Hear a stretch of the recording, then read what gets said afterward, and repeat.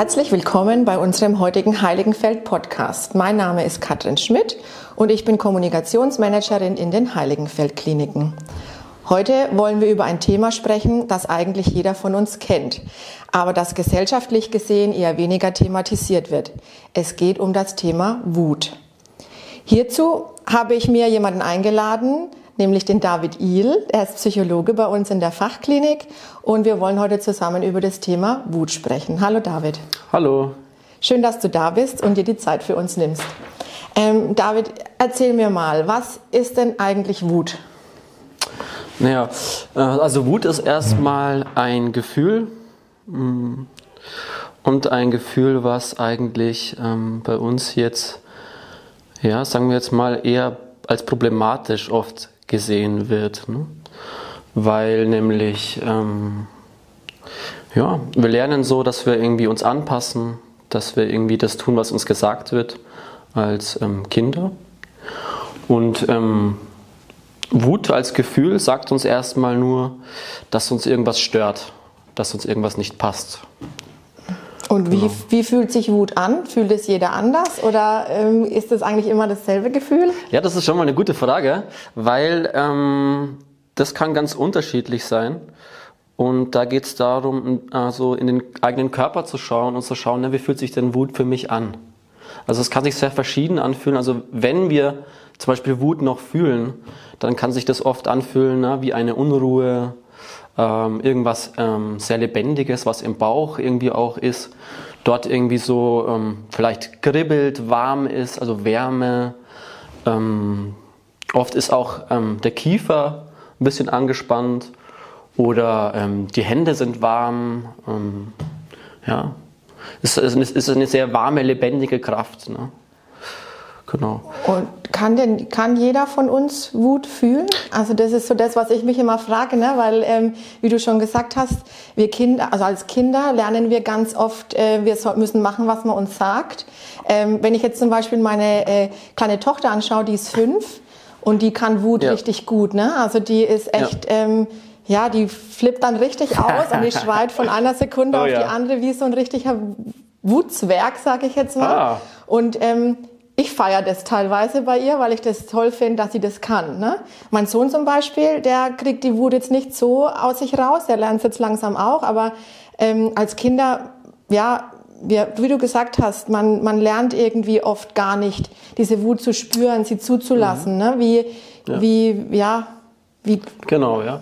Also, und wenn wir nämlich über längere Zeit ne, lernen, dass, also als Kind lernen, dass unsere Wut nicht angebracht ist, dann ähm, gewöhnen wir uns an, dass wir sie nicht mehr spüren und das machen wir in unserem Körper. Ne? Zum Beispiel ähm, ja, spüren wir dann vielleicht überhaupt keine Wut mehr, weil wir so lange gewohnt waren, das zu unterdrücken, sondern wir spüren einfach vielleicht nur ein Kloß im Bauch, ne? ein Härtegefühl im Bauch oder eine Anspannung im Nacken, ganz typischerweise. Eben auch dieses ganz feste Kiefer, wo wir denken, ne? irgendwie Kieferschmerzen, aber vor allem auch diese Anspannung, ne? eine Anspannung. Ne? Und was machen wir, wenn wir spüren, die Wut kommt in uns hoch? Wie können wir das? Ja, erstmal erstmal die zulassen und zu fühlen. Das ist schon mal das Erste. Was ja nicht einfach ist, weil wenn ich ähm, wütend bin, dann fühle ich mich ja lebendig. Dann fühle ich mich wehrhaft, dann fühle ich mich groß und dann fühle ich mich stark. Und dann kommt oft der Impuls, ne, aus der Kindheit gelernt, sich klein zu machen, ne, diese Wut schnell wieder wegdrücken zu, zu wollen. Ne? Mhm. Weil Wut ist ja tendenziell auch etwas ähm, als Kind, was als Kind gefährlich ist. Ne? Wenn ich jetzt zum Beispiel ähm, auf meine Eltern stark wütend bin ne, oder irgendwie äh, schreie, mir sagt, was nicht passt, dann ist da eine Person, die ist ähm, vielleicht nicht verständnisvoll und die ist größer als ich, die ist stärker als ich. Ne? Und die schickt mich vielleicht dann auf mein Zimmer, ne? ja, geh auf dein Zimmer, wenn du dich so benimmst, dann ja, will ich nichts mit dir zu tun haben, das macht man nicht oder so, ne? geh auf dein Zimmer. Ne? Und dann wenn es über längere Zeit passiert, dann lerne ich als Kind, ne, lerne ich, ja, das ist nicht angebracht. Und damit meine Eltern mich gern haben ne, oder ich äh, mit meinen Eltern gut ähm, zurechtkomme, lerne ich eben diese Wut nicht mehr zu spüren, das wegzudrücken. Ne? Mhm. Und wie kann ich das lernen, sie zu spüren? Also ihr macht es ja auch in der Klinik mit ähm, den Patientinnen und Patienten, wenn die zu euch kommen. Ähm, was, ja, wie arbeitet ihr da ja. mit denen? Ja, Ja, das geht viel über den Körper, genau. Mhm. Also ich, ähm, ich arbeite auch ähm, oft sehr provokant, ne? die Leute ein bisschen zu provozieren ähm, und dann ähm, sind die manchmal wütend und dann merkt man es an der Reaktion. Ne? Manchmal kommt überhaupt keine Reaktion, äh, manchmal sind die dann traurig oder so. Ne? Und dann zu sagen, ne? aber was stört Ihnen, was stört Sie jetzt daran, was, was ich gesagt habe, ne? an den Anteil zu gehen, der sich eigentlich wehren möchte, der eigentlich weiß, ja, das passt für mich nicht, ne? das stimmt für mich nicht was. Genau. Und das im Körper zu fühlen, ne? was fühlen Sie im Körper? Ne? Da kommt vielleicht, ja gut, ähm, ja, ich fühle mich eigentlich leer, ähm, leer ne? ich fühle mich jetzt leer. Mhm. Und dann sich dafür zu interessieren, aha, okay, Sie fühlen sich leer, ne? aber ne, was ist denn vielleicht hinter der Leere? Zu sagen, ne, was, wo spüren Sie denn diese Leere? Ja, im Bauch. Ne? Ja, und dann auch mal, auch mal durch Spiegelung der anderen Patientinnen, wie fühlen sich denn die anderen, wenn sie das hören? Ne? Die sagen oft, ja, na, ich bin wütend, ne? Ich, ich fühle jetzt irgendwie eine, eine Wärme in meinem Brustbereich, ich fühle, mein, ich fühle in meinem Bauch so eine Kraft oder so, ich möchte eigentlich was sagen und so, ne? Und dann kriegen die Patientinnen auch oft mit, so, ja, das ist vielleicht okay, ne? Auch wütend zu sein, ne? Und das Erste ist, sich das irgendwie zu, zu erlauben, auch so, ja gut, bei meinen Eltern hat es vielleicht negative Konsequenzen gegeben, aber hier kann ich mir das erlauben. Ne? Und das verändert Gefühle im Körper. Ne? Und dann kommt vielleicht eine Wärme in der Brust oder irgendwas im Bauch, was, was sich stark anfühlt, ein Zittern, eine Lebendigkeit, ähm, warme Hände. Genau. Und wie, was mache ich? Also wenn ich jetzt so richtig wütend bin, ne, dann ähm, habe ich ja vielleicht auch manchmal das Gefühl, ich möchte jetzt irgendwas auf irgendwas schlagen oder es mhm. muss ja auch irgendwie ja. raus. Ne? Also dieses Unterdrücken genau. oder wie schaffe ich, dass ich die Wut wieder loslassen kann? Genau, ja. Das ist ähm, sehr, ähm, kann sehr schwierig sein, nämlich wenn wir äh, über längere Zeit ähm, quasi äh, unsere Wut unterdrückt haben. Ne? Es ist wie so dieses Modell von diesem oder dieses Bild von diesem ähm, Kochtopf, der brodelt und brodelt ne? und wir halten den Deckel schön drauf. Und das braucht sehr viel äh, Energie, sehr viel Lebenskraft geht da rein, einfach den Deckel drauf zu halten. Ne? Und wenn dann irgendwas Kleines passiert, dann explodiere ich vielleicht, ne? weil, weil ich das schon so lange zurückhalte. Und da kann es schwierig sein, ne, sich einen ne, spontanen und angemessenen Wutausdruck ähm, zu erlauben oder den zu leben weil eben schon die ganze alte Wut dann hochkommt. Ne? Und da geht es darum, ne, ja, ein bisschen zu schauen, wo kommt denn diese alte Wut her und ähm, die dorthin zu schicken, wo sie entstanden ist, sagen wir mal. Ne? Weil diese Wut entsteht ja daraus, dass meine Bedürfnisse über längere Zeit frustriert worden sind. Ne? Und ich habe das nicht ausgedrückt und in mir gehalten. Und da geht es erstmal in Therapie darum, diese, dieser alten Wut erstmal Raum zu geben. Ne? dass die, dass die sich mal ähm, ja, ausdrücken kann oder zeigen kann. Und wenn ich das mal gemacht habe, dann ähm, ist viel von diesem Dampf, von diesem Druck weg. Und dann geht es darum, einen ja, natürlichen, spontanen und auch sehr angemessenen Ausdruck für diese Wut zu finden. Das kann zum Beispiel sein, indem ich sage, ja, was du jetzt gesagt hast, das passt nicht für mich, das hat mich jetzt wütend gemacht. Ne?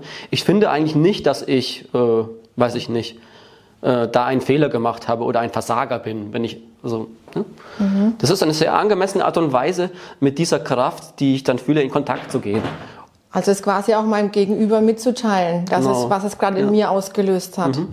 Weil das lernen wir ja auch nicht. Genau. Ne? Und wenn die Wut halt sich anstaut und halt schon zu viel ist, ne, dann, dann äh, ist es halt nicht mehr konstruktiv, sondern dann, dann mache ich vielleicht Anschuldigungen, ne, weil ich schon so unter Druck bin, dann sage ich so, ja, du hast das und das gemacht und ähm, das, das äh, und Anschuldigung, na, du bist ja, du bist ja, ähm, ja viel zu kritisch, das und so, ne? Und dann mache ich Anschuldigungen und das verhindert halt irgendwie eine konstruktive Art und Weise, dass ähm, ja gemeinsam eigentlich ähm, Bedürfnisse ausgetauscht werden und ein Kompromiss oder eine Lösung gefunden wird. Mhm. Passiert aber oft, weil eben eben die Wut schon lange Zeit unterdrückt wird oft und dann halt sie sehr heftig kommt. Ne? Mhm.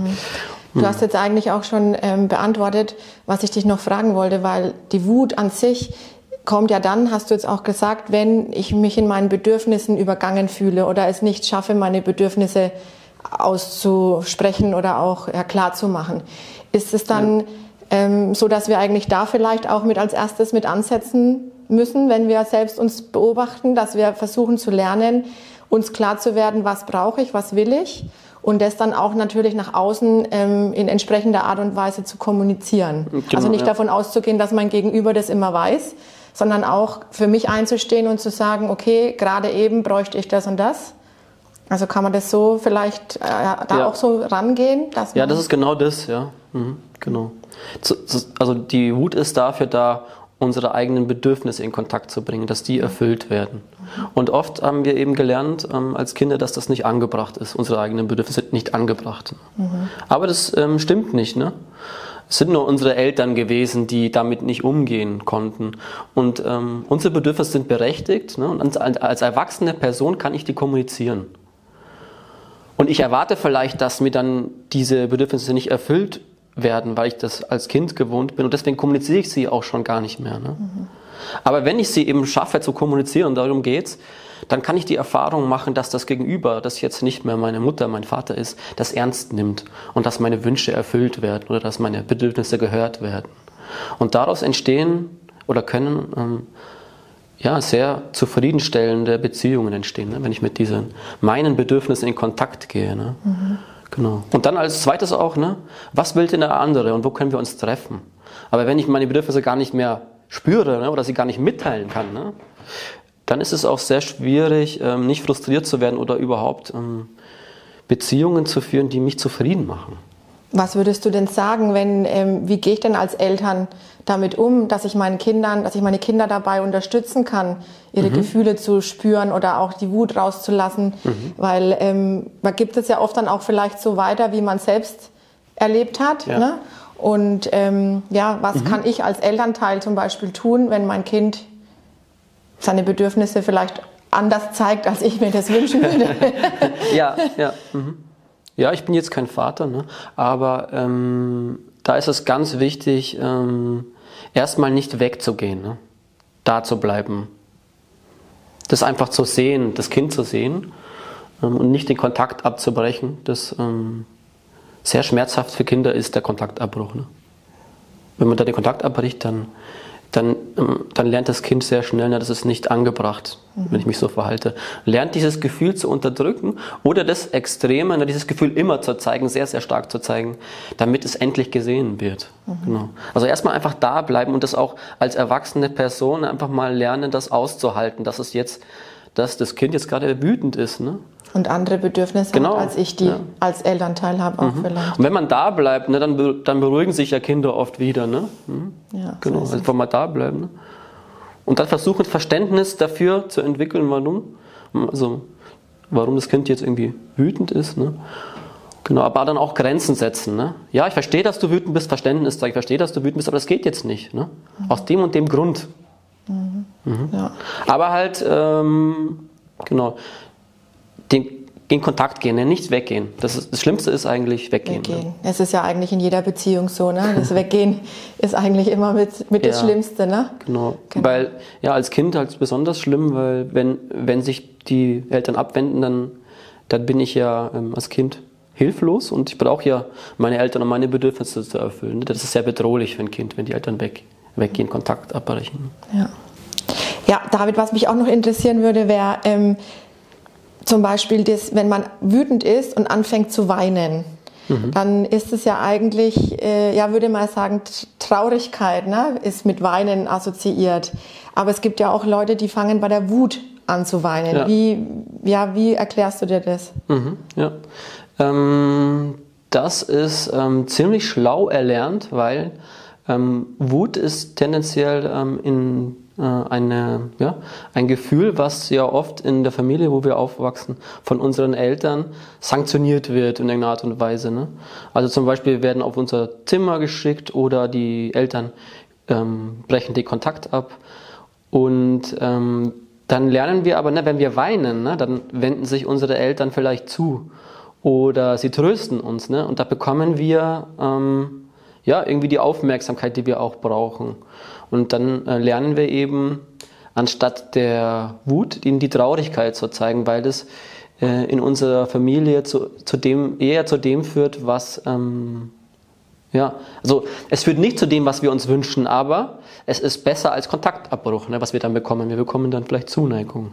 Genau. Mhm. Und das sind Kinder sehr schlau.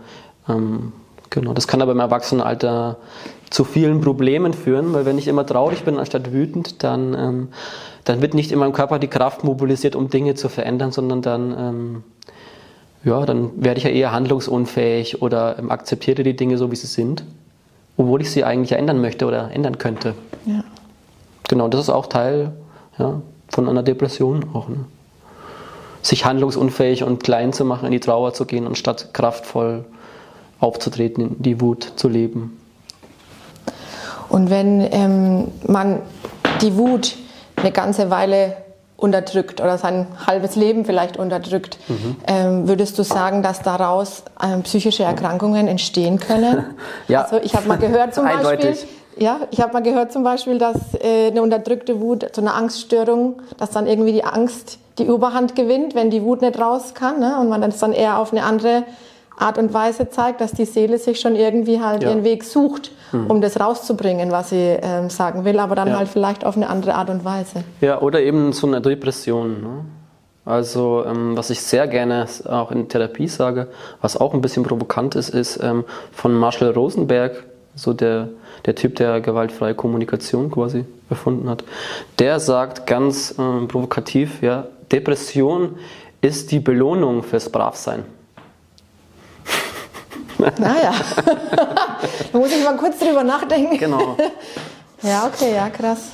Wenn, genau, ähm, wenn ähm, ich so lange meine eigenen Bedürfnisse ja nicht ähm, in Kontakt bringe, da werden die auch nicht erfüllt. Und dann gibt es ja nur noch wenig, was irgendwie sich sinnvoll anfühlt. Ne? Weil wenn meine eigenen Bedürfnisse erfüllt werden, dann entsteht ähm, irgendwie ein Gefühl von, ja, das war jetzt gut, das war richtig, ähm, von Sinn. Ne?